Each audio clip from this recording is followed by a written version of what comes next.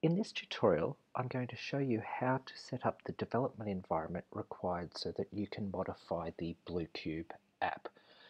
As this is a Windows machine, you can only use it to modify the Android version of the app. You need a Mac to do the iOS version, or you can use some online services, including those provided by Ionic, but I'll leave that as an exercise for you to explore if you're interested. So to do the install, we'll first start by going to the Bluecube website and we'll go to the development environment page. Now this page lists all of the instructions of how to set up the environment that I'm going to use in this video. So if you're ever stuck, please come back to this web page and follow the instructions. I'm also going to cut out delays for install or download just to make this video go quicker. So to start with we need to install the Ionic platform which requires Node.js. So we'll go to the Node.js homepage and we'll download the latest version for Windows. Uh, version 4 is the version that's required. So we'll let that download.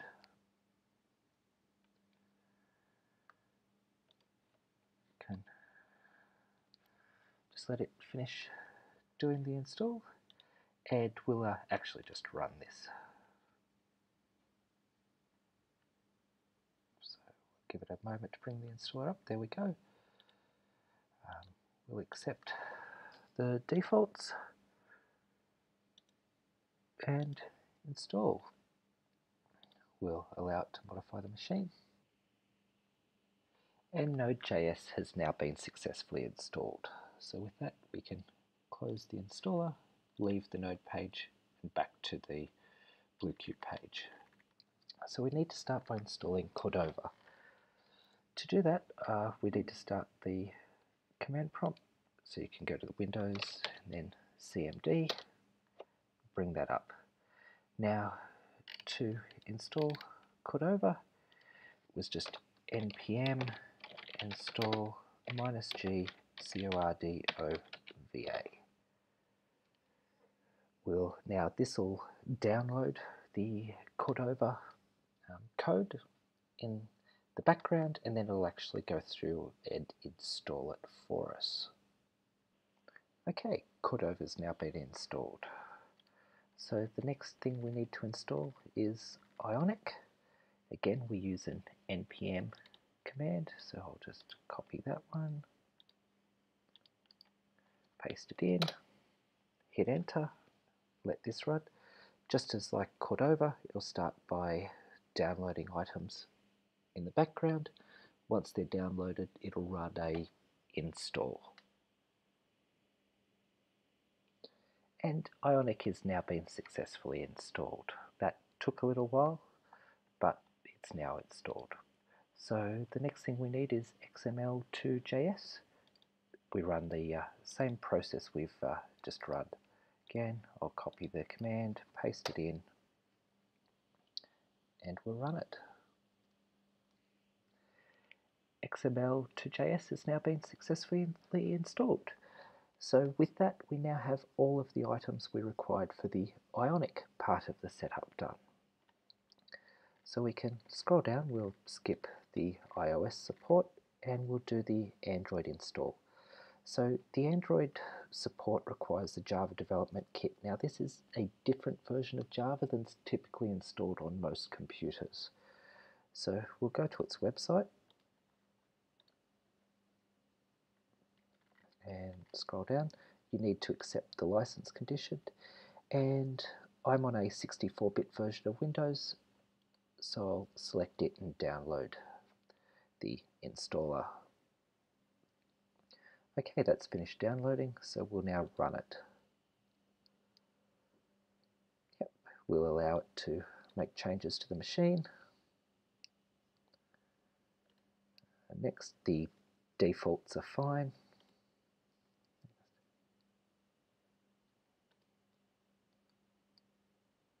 We'll allow this to finish.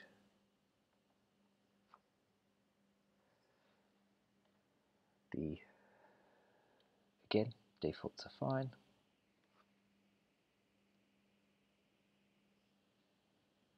And we've now successfully installed the Java Development Kit, so we can close the installer. Now, I'll actually close this and go back to the BlueCube website. There are a number of additional steps that we need to do to successfully set this up so that our Android environment can find the version of Java. So the best way to do it is we'll go, we need to set some environment variables. So we'll go start, type environment, and we'll edit the system environment variables. On the Advanced tab, we want to click Environment Variable. Now, just with this, so what we need to do is new, one called Java Home, so I'm just going to copy this. So we've got user variables or um, system variables. You could put it in either. I normally put this as a user variable for myself. So new, we'll paste in the Java home. And if you accepted the defaults, the value will be as uh, follows. So I'll just copy that, paste it in, and then we can click OK to set that. Then we click OK to set the environment variable and OK to close system properties. So the Java JDK is now installed. So now we need to install the Android Studio, which is the development IDE for Android devices from Google. So we'll go to its website. We'll click the download link. We'll accept the terms and conditions and click download. Android Studio is now finished downloading, so we can now click on Run to start the installer.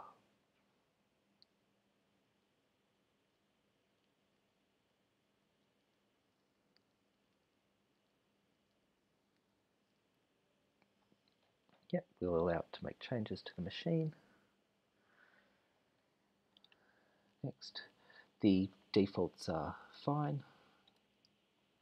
Next, so agree to licenses. We'll allow these to continue. Please take note of the Android SDK install location. We'll actually need to use this later. Next, the again, the defaults are fine, so we'll just leave them as they are. And we'll now install. And the installation has now successfully completed. It would have taken a little while as it downloaded and extracted various components, but we're now done. So we can click next and we can, uh, we'll actually untick the start Android Studio because we need to make some other changes before we run it for the first time. So we'll do that and finish. Now those changes are actually listed um, down here, but I've also spelled them out um, on the BlueCube page.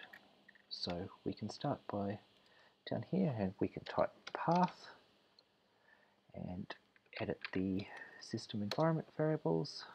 Again, environment variables. Now path which is the one we need to edit. So we'll click on that. We'll click at the end. And I've got all of the text. Make sure you get the first semicolon that we need. Now, if you changed the install location, you'd need to update this as appropriate, but hopefully you can just copy and paste. I'm just going to make sure that there's no space at the end and that there was no space there. That's fine. We'll click OK OK, and OK. So we're now done. Now we also need to install some additional software development kits for the Android environment. So to start that, we can go back to the command prompt and type Android. Ah, sorry, what we need to do is quit the command prompt and start it again. Now we can try Android again that's that path setting just taking into effect. So we'll just let this check the latest details. with the Google servers.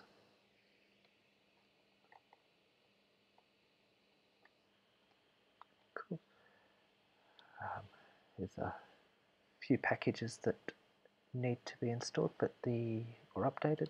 But the one we really care about is Android 5.1.1 and then the SDK platform. You could install the um, system images which are used for the emulator but Bluecube won't work with the emulator because it doesn't support Bluetooth. So you can test the basic app but you can't actually communicate with the cube. So we don't really need it.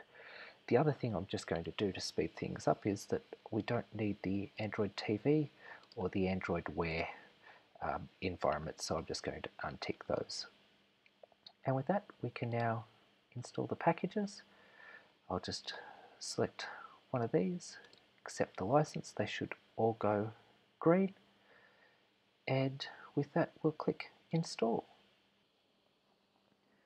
And all of the uh, packages that were required to be installed with the Android SDK have now finished. We should be able to just double check. Yep, there's the SDK for the 5.1.1. So with that in mind, we can now uh, quit. Yes, and that is the end of the install that's required for setting up the development environment. The next video in this tutorial, setting, uh, tutorial series will show you how to build and deploy the app to your Android mobile device. Thank you for watching.